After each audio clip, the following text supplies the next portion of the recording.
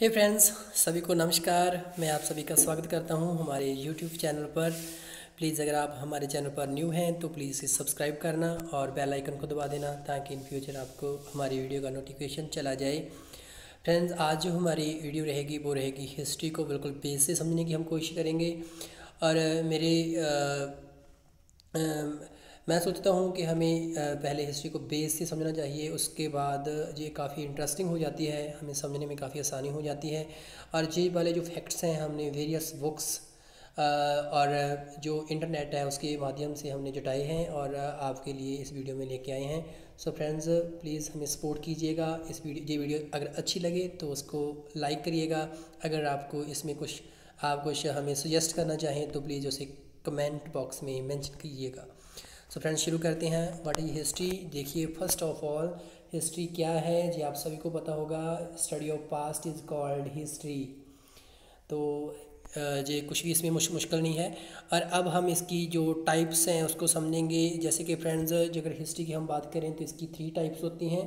Pre history protohistory और history और अब हमको देखिए first of all prehistory pre prehistory कौन सी होती है? जो unrecorded past is called prehistory अगर हमारे पास ऐसा पास्ट ऐसा हमारा भूतकाल, ऐसा हमारा समय हिस्ट्री का, जो हमारे पास, जिसके रिगार्डिंग हमारे पास कोई भी क्लूज़ कोई प्रूफ्स कोई फॉसिल वगैरह, जो हम शेष वगैरह, हमें कोई लिखत वगैरह, कुछ भी नहीं मिला, उसको हम बोलेंगे प्री हिस्ट्री कहने का हम जहाँ पर ये कहना चाहते हैं कि ऐसा समय जिसके रिगार्डिंग हमारे पास कोई भी प्रूफ नहीं है, कोई लिखत नहीं है कोई किसी प्रकार का कोई हमारे पास फासिल वगैरह हमें कुछ भी नहीं मिला तो हम उसको प्री हिस्ट्री में काउंट करते हैं?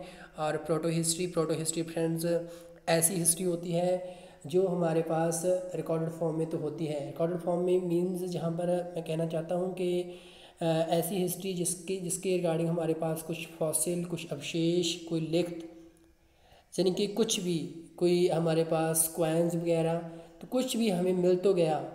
लेकिन वो हमारे लिए बेनिफिशियल नहीं है। बेनिफिशियल क्यों नहीं है? क्योंकि अभी तक हम उसे डिसिफर नहीं कर पाए, हम उसको अंडरस्टैंड नहीं कर पाए, हमारे आर्कोलॉजिस्ट उसको अच्छे से समझ नहीं पाए और ऐसे काल को हम प्री प्रोटो हिस्ट्री में काउंट करेंगे।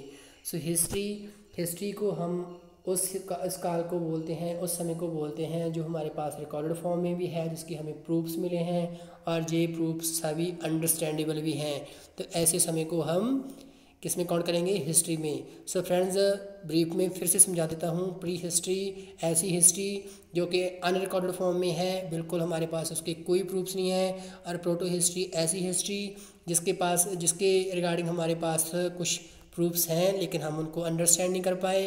और नेक्स्ट हिस्ट्री जिसको हम रिकॉर्डेड फॉर्म में भी है, हम अंडरस्टैंड भी कर पाए हैं। ऐसी हिस्ट्री को हम ऐसे समय को हम हिस्ट्री में काउंट करते हैं। सो आगे बढ़ते हैं। अब फ्रेंड्स हम बात करेंगे जो हमारा फ़र्स्ट मैन था ऑन द अर्थ उसके बारे में हम जानेंगे। ये काफ़ी इंटरेस्टिंग है, इसके रिगार्डिंग हमारे जो आर्कोलॉजिस्ट हैं, उन्होंने वेरियस जो थ्योरीज़ हैं उन पे काम किया है। सो हम कोशिश करेंगे कि जो इम्पोर्टेंट है उस सभी को हम जहाँ पर डिस्कस करें।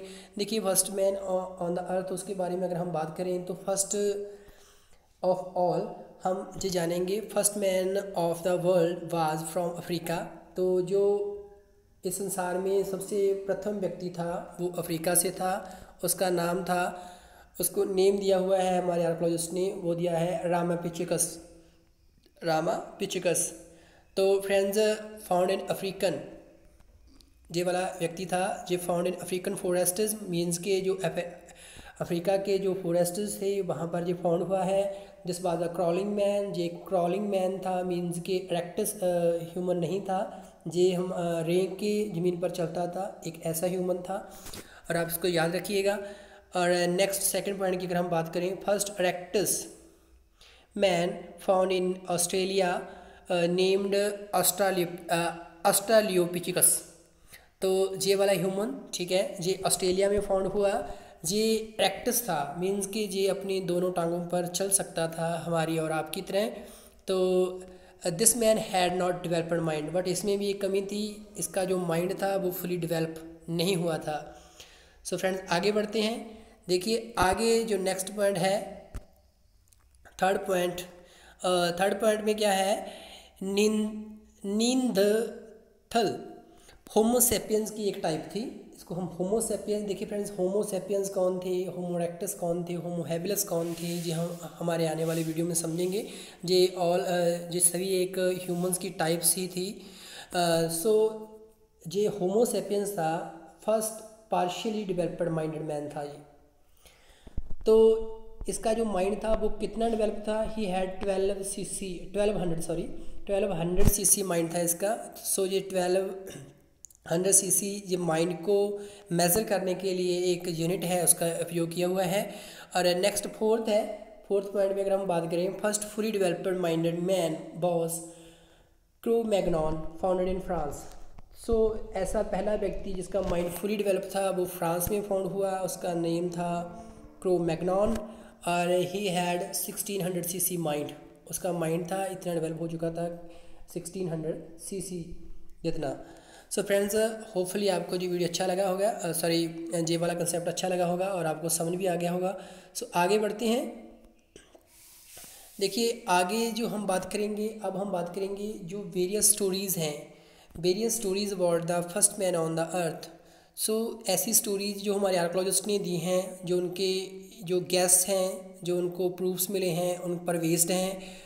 और देखिए रेडिएशन थ्योरी की अगर हम बात करें फ़र्स्ट ऑफ़ ऑल क्या, कौन सी थ्योरी है? रेडिएशन थ्योरी फ्रेंड ये वाली जो रेडिएशन थ्योरी है modern man evolved from Africa and migrate from there to various parts of the world this way theory based on DNA so friends ये radiation theory क्या कहती है? ये ये थ्योरी कहती है, अगर हम आसान भाषा में समझने की कोशिश करें, कि जो अफ्रीका में जो ह्यूमन था, वो अवेल्प हुआ वहाँ पर उसकी पैदाइश हुई और वहाँ से वो माइग्रेट होके जो other parts of the world हैं, उनमें वो चला गया। This theory is based on DNA ये थ्योरी किस बेस के, किस आधार पे काम करती है? डीएनए के बेस के। डीएनए पर ये काम करती है। डीएनए पर बेस्ड है ये वाली थ्योरी सो रेडिएशन थ्योरी क्या कहती है कि ह्यूमन पैदा कहाँ हुआ? अफ्रीका में पैदा हुआ, वहाँ से माइग्रेट होके other parts of the world में चला गया। ये थ्योरी बेस्ड है डीएनए पर। और आगे हम नेक्स्ट बात करेंगे पैरल थ्योरी पैरल थ्योरी देखिए, इसका नाम ही हमारे लिए काफ़ी है। जब में बताता है कि जो ह्यूमन है, उसकी जो पैदाइश है, वो पैरल हुई। जो हमारा वर्ल्ड है उसके वेरियस पार्ट्स में, ठीक है पहली जो ह्यूमन है, उसकी पैदाइश हुई तो जे वाली थ्योरी किस पर बेस्ड है? जे वाली थ्योरी फॉसिल पर बेस्ड है। जो उनको प्रूफ्स मिले हैं फॉसिल वगैरह मिले हैं, उन पर बेस्ड है पैरल थ्योरी सो हमने इन दोनों थ्योरीज़ को जाना। अब हम बात करेंगे क्रेडल ऑफ़ ह्यूमन रेस देखिए, ये इंपॉर्टेंट है फ्रेंड्स काफ़ी बार एग्ज़ाम में पूछा गया है। आप सभी को पता होगा, अगर आप हिस्ट्री के स्टूडेंट्स हैं तो cradle of human race means Africa Africa is called cradle of human race because oldest human skeleton found at Rift Valley in Hadar Ethiopia all the way Laetoli all three sides are in Tanzania so so friends जो Africa है, ये cattle of human race बोला जाता है। क्यों बोला जाता है? क्योंकि दुनिया की सबसे जो ओल्डेस्ट कल्टन्स हैं, जो ह्यूमन बॉडी के फॉसिल वगैरह मिले हैं, वो अफ्रीका में ही मिले हैं। कहाँ पर मिले हैं? रिफ्ट वैली के आसपास, जो हमारी कुछ साइट्स हैं, जैसे हदार इथोपिया ओल्दुवई इन सभी साइट्स पर ये वाले, ये वाली चीज़ें मिली हैं, जो हमारी स्कल्टन्स हैं, वो हमें मिली हैं। आप इनको याद रखिएगा एग्ज़ाम के पॉइंट ऑफ़ व्यू से इंपॉर्टेंट है। सो so, आगे बढ़ते हैं। All these parts were situated in East Africa जिस सभी जो साइट्स हैं जो ईस्ट अफ्रीका में मौजूद हैं। This skeletons belongs to the Australopithecus category ये स्कल्टन्स एस्ट्रोपैथिक्स कैटेगरी जो ह्यूमन की है उससे बिलोंग करती हैं। सो so, आगे बढ़ते हैं। ह्यूमन रे स्टोरी ह्यूमन रे स्टोरी की अगर हम बात करें तो ये वाली एक स्टोरी है आप इसको एक ऐसी एक स्टोरी की तरह ही समझ लेना ठीक है? तो ये स्टोरी क्या बताती है? सिक्स मिलियन ईयर्स अगो आज से जो सिक्स मिलियन ईयर्स पहले आ, क्या हुआ था? अगर हम उसकी बात करें six million years ago in East Africa some ape start living in the plain areas instead of the trees देखिए एपीज कुछ एपीज जो अफ्रीका में के जो जंगल थे उनमें पाए जाते थे। सिक्स मिलियन ईयर्स पहले उनमें से एक कुछ ऐसी उनमें बदलाव आया। तो उन्होंने क्या कहाँ रहना शुरू कर दिया? उन्होंने ट्रीज़ के जगह पे उन्होंने जो प्लेन एरियाज़ थे मैदानी एरियाज़ थे उनमें रहना शुरू कर दिया। तो इस ऑब्वियसली वो अगर अगर अब वो मैदानी एरिया में रहने लगे तो वो हमारी आ, आ, हमारी और आपकी तरह दो जो उनके पिछले दो पाँव थे लास्ट दो टांगें थी उन पर वो चलना उन्होंने शुरू कर दिया और इस प्रोसेस को जो हमारे आर्कोलॉजिस्ट हैं वो बोलते हैं बाईपैडल लोकोमोशन सॉरी जहाँ पर आ, थोड़ी स्पेलिंग मिस्टेक हो गई है इसको आप बाईपैडल लोकोमोशन पढ़िएगा। तो इस प्रोसेस को जो हमारे आर्कोलॉजिस्ट हैं उन्होंने नाम दिया है bipedal locomotion no these apes were called hominins तो अब वो जब हम अपने पिछले के, पिछले दो पैरों पर उन्होंने चलना शुरू किया तो अब उनको होमिनस बोला जाने लगा, ये सिक्स मिलियन ईयर्स के पहले की बात है। सो आगे, अब in two point five million years ago they started to making tools and divided into three parts उन्होंने जो टूल्स हैं, वो बनाना शुरू कर दिया और अपने आप को वो थ्री पार्ट्स में डिवाइड कर लिया। जो थ्री टाइप्स हैं, उनमें डिवाइड कर लिया है। ये टाइप्स कौन कौन सी थी? Homo sapiens Homo ergaster Homo and Homo so आप ये याद रखिएगा। ये थ्री टाइप्स थी। Homo ergaster Homo and Homo habilis so friends आगे हम बात करेंगे। एक हमारे जो आर्कोलॉजिस्ट हैं, एक और थ्योरी देते हैं। वो वाली है common ancestor theory common ancestor theory के बारे में आपको मैं ब्रीफ बता दूँ कि ये एक ऐसी थ्योरी है जो बताती है कि ये मान लिया गया है कि ह्यूमंस की काफ़ी सारी काइंड्स हैं, काफ़ी सारी उसकी किस्में हैं, लेकिन उनके जो इंसेस्टर हैं वो एक ही है। उनके जो पूर्वज हैं वो एक ही रहे रहे हो, होंगे। ये वाली थ्योरी ये बताती है। सो फ्रेंड इसमें अगर हम बात करें this is the theory that tells us that human has various kinds ये वाली थ्योरी हमें ये बताती है कि जो ह्यूमंस हैं, उसकी बहुत सारी काइंड्स हैं, बहुत सारी किस्में हैं but all kinds of human have common ancestor लेकिन सभी का जो इंसेस्टर है, वो एक ही है।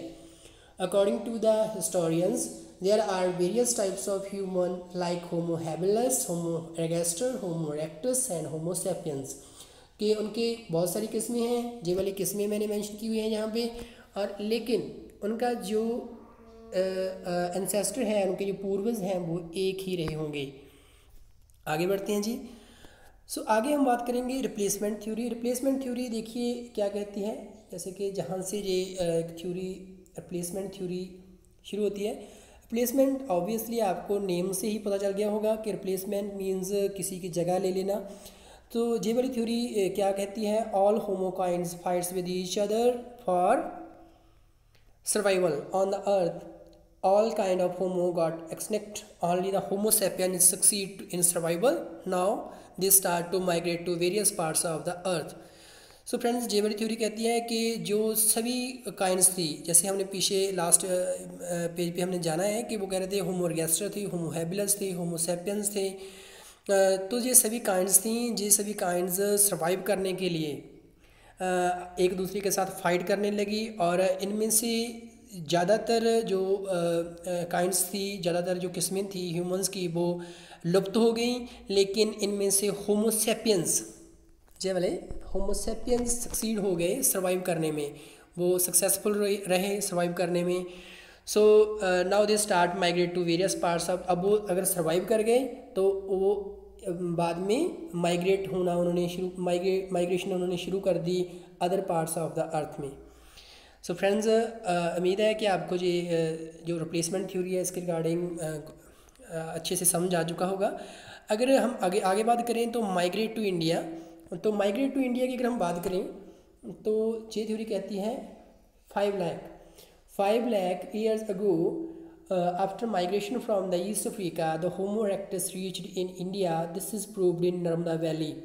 So friends ये वाली थ्योरी कहती है कि सॉरी थ्योरी नहीं है जो अगर हम ऐसी बात करें कि फ़र्स्ट ह्यूमन इन इंडिया कैसे आया ठीक है तो इसको आप फाइव लाख ईयर्स ही पढ़िएगा तो ये कहती है कि आज से पाँच लाख साल पहले जो ईस्ट अफ्रीका से जो होमोरेक्टस थी मीन्स के ये होमोरेक्टस एक ही, एक काइंड ही तो थी ह्यूमंस की। तो होमोरेक्टस थे जे ईस्ट अफ्रीका से माइग्रेट होके इंडिया पहुँचे। तो ये वाली जो थ्योरी है, ये प्रूव्ड हुई है नर्मदा वैली में। वो आगे हम जानेंगे कैसे। नर्मदा वैली में ऐसे हमें क्या प्रूफ्स मिले हैं, वो हम आगे के जो पॉइंट है उसमें जानेंगे। सो so फ्रेंड्स ये ऐसे ही बोल रहे हैं कि five lakh five lakh years पहले तो होमोरेक्टस इंडिया है और आगे हम बात करेंगे first man India. So in 1982 AD fossils of Homo rectus Homo human founded at Hathnora near Hoshangabad MP this man has a cranial capacity of 1155 to 1422 cc this is a female of 27 to 32 years. तो ये वाली theory क्या कहती है कि sorry जे एक fossil मिले हैं किसके? ह्यूमंस के इन 1982 में। 1982 में कुछ फॉसिल मिले हैं होमोरेक्टस के। कहाँ पर मिले हैं? हथनौरा विलेज हथनौरा विलेज होशंगाबाद, मध्य प्रदेश में फ्रेंड्स पाया गया है पाया जाता है। ये एक साइट है जहाँ पर हमें ह्यूमंस के कुछ ह्यूमंस की कुछ स्कल्टन्स मिली हैं, ठीक है? जो ये बात प्रूव करती हैं कि जे स्कल्टन्स होमोरेक्टस के हैं। कब फाउंड हुए? 1982 में। और ये ऐसा मालूम हुआ है कि जे स्कल्टन है जो एक फीमेल की है जिसकी एज 27 से 32 इयर्स के बीच रही होगी। सो so, आगे बढ़ते हैं। जियोग्राफिक प्रोजेक्ट सो फ्रेंड्स अगर हम जियोग्राफिक प्रोजेक्ट की बात करें जियोग्राफिक प्रोजेक्ट की अगर हम बात करें in 2005 Spencer Wells Spencer Wells starts a project on the world level 2005 में स्पेंसर विल्स जो कि एक आर्कोलॉजिस्ट हैं वर्ल्ड वाइड पर तो उन्होंने एक प्रोजेक्ट शुरू किया।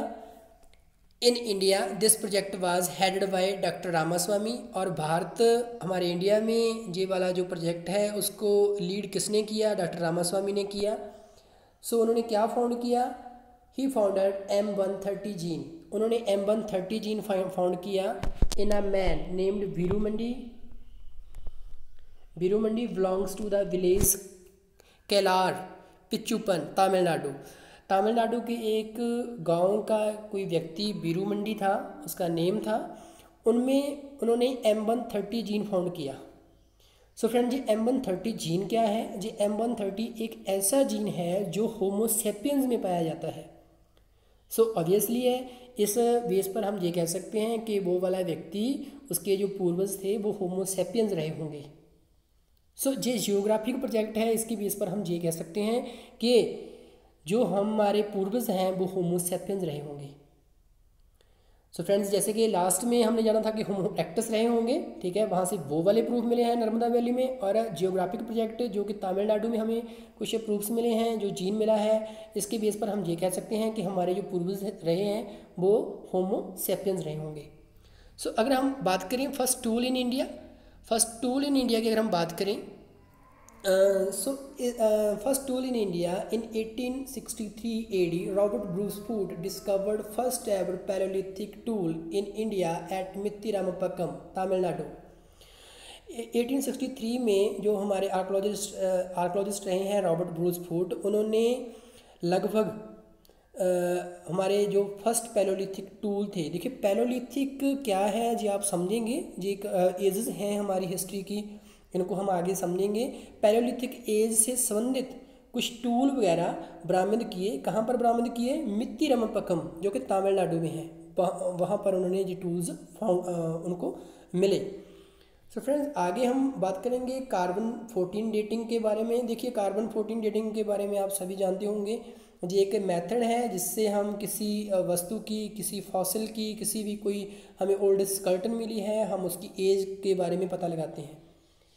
A method of dating in the past ये पास्ट की डेटिंग के लिए एक मेथड है। This is developed by Willard Libby इसको डेवलप करने वाले कौन थे? विलियार्ड लिबी थे। This method is based on that all living organisms contains radioactive carbon ये वाला जो मेथड है, किस चीज़ पर बेस्ड है? जी, इस चीज़ पर बेस्ड है कि सभी लिविंग ऑर्गेनिजम्स सभी जीवित वस्तुएँ, सभी संजीव वस्तुएँ क्या कंटेन करती हैं? रेडियो एक्टिव कार्बन जो है ऑब्ज़र्व करती हैं कंटेन करती हैं। उसके बेस पर जी उनकी जो एज है, जो उनकी वो कितनी ओल्ड रही होंगी, उसके बारे में हमें एक गैस देती है। Carbon fourteen dating so friends आगे बढ़ते हैं। अब हम कुछ जो इंपॉर्टेंट फैक्ट्स हैं, जो हम हम, हमें पता होना चाहिए, ठीक है?